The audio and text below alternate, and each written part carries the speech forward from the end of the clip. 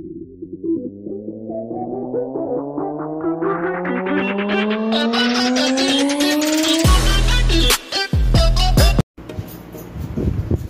up guys? Mga kawakwak Ito, gagawa tayo ng juice Ang gagawin natin ngayon Ang pangalan nito ay Power Mix Unahin natin tong uh, Orange Orange saka Pineapple Nanas Saka lemon mint ito yung power mix.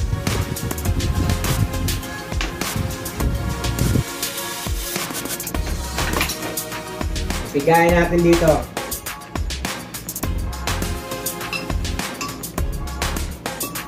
Kasi yung papiga ko hindi nadala. Doon sa kumpanya.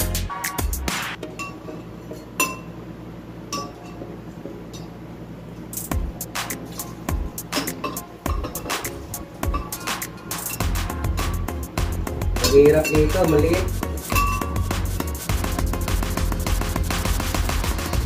Lang kaya. Yan, mabuti pa, ganun na lang.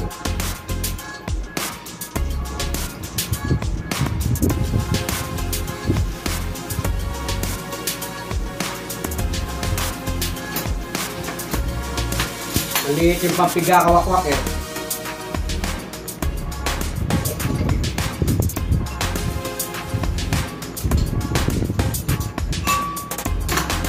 Maliit kawakwak yung papiga natin.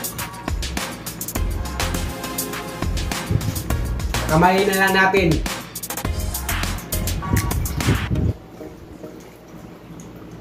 Yan.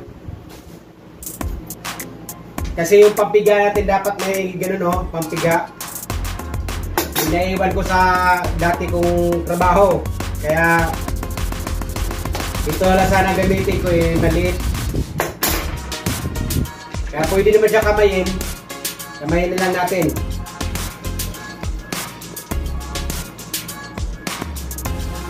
Ayan.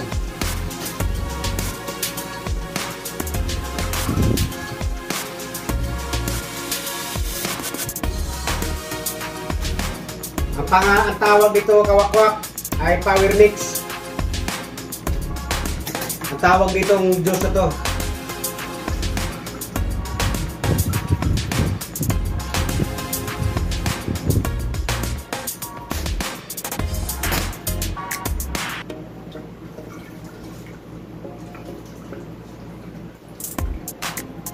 Yan. Okay na siya kawakwak. Ngayon ang gawin natin sa lain natin.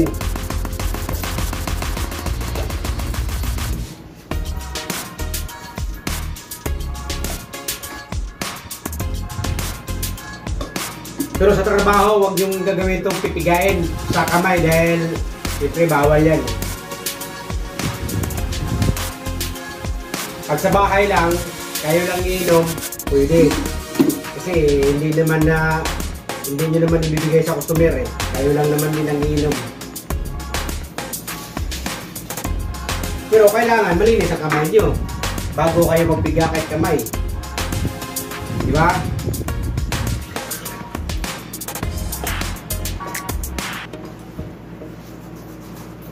Tapos, maglagay tayo ng ananas. Pineapple.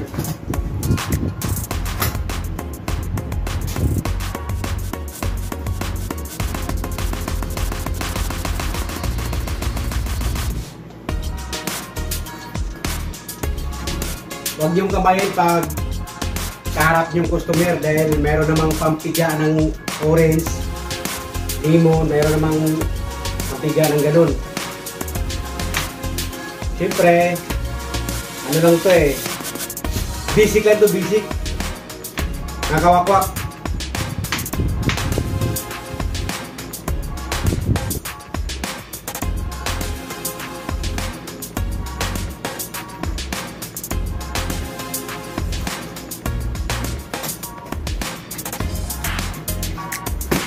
Power Mix.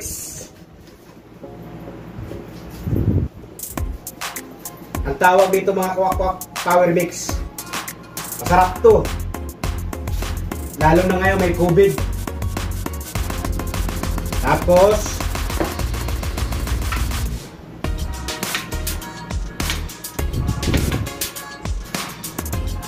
yan, tapos na. Lagay natin tong lemon mint.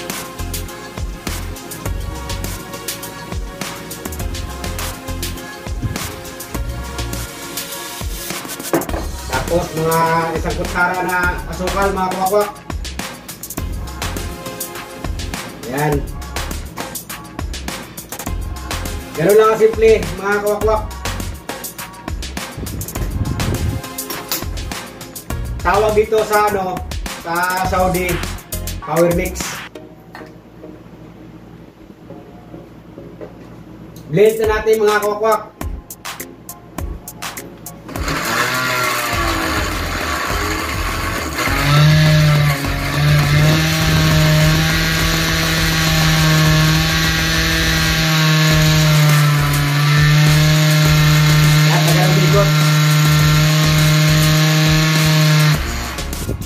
Tagal umikot.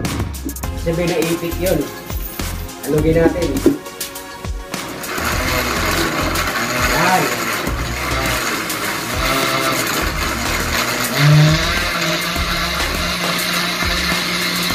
Sarap yan mga kwakwak, orange, lemon, saka lemon mix.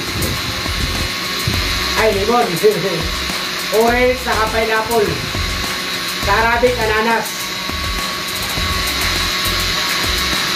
Yan lang kasimple, mga kwakwak.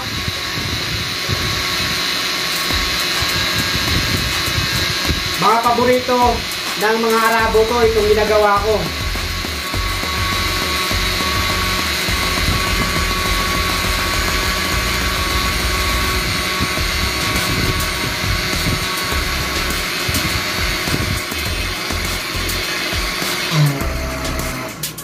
Yan. Siyempre, titikman natin. Ah, dagdagan, dagdagan natin kunti. Mga isang kutsara pa. Ganun na pagtikim yan mga kwak-kwak. Kinauboy style ba? Siyempre, wala kang, wala nga ano, wala nakatingin na customer. Ba mga kwak?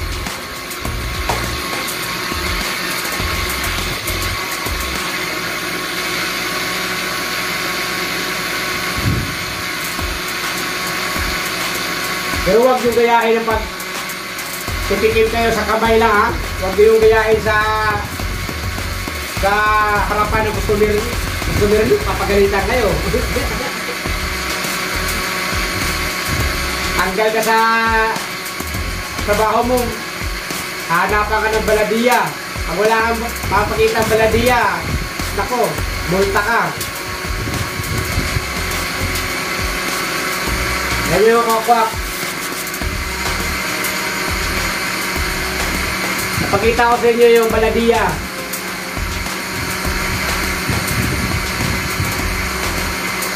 Ano ba yun? Ito kawakwak yung baladiya. Baladiya sa ano yan, sa Jusan.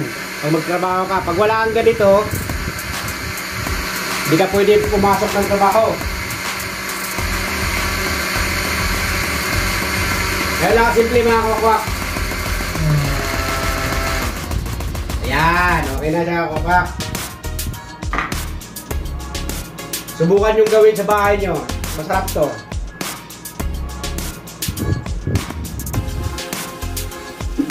Ayan, kawakwak. Wow, sarap. Lalo na may COVID ngayon. Ang the best. So, kawakwak. Bangan yung next vlog. Nagawa pa rin tayo ng juice.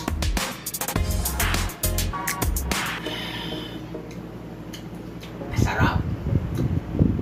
Maasim-asim siya na ma- malamig-lamig. Nakakakwak. Ganun lang kasimple gumawa ng juice. Kahit kayo, alam nyo. Itong ginagawa ko, pandagdag kalaman nyo lang to kasi para dagdag pogi points ba.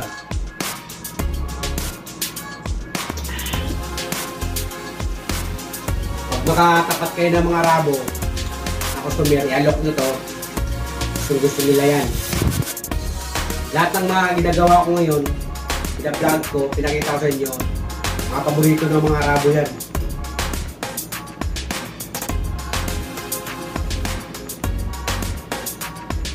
Sarap. Tawag dito mga kwak-kwak, power mix ha.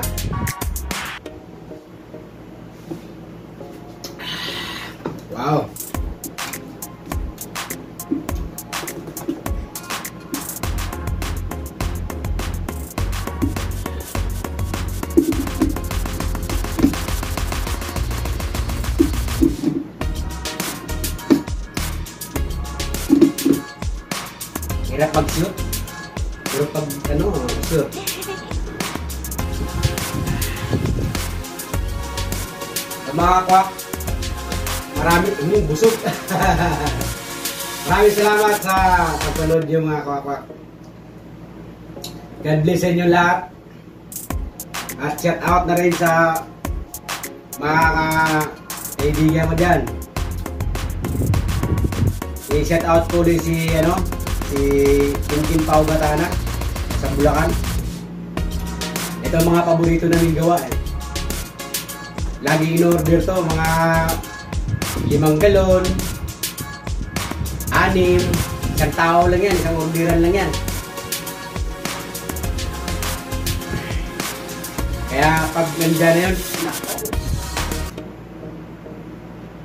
Busy-busy na naman kami niyan.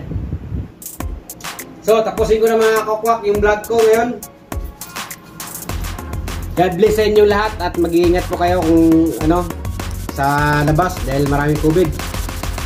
God bless sa inyo lahat mga kakwak, inulit ko. Abangan next vlog. Maraming salamat. Peace.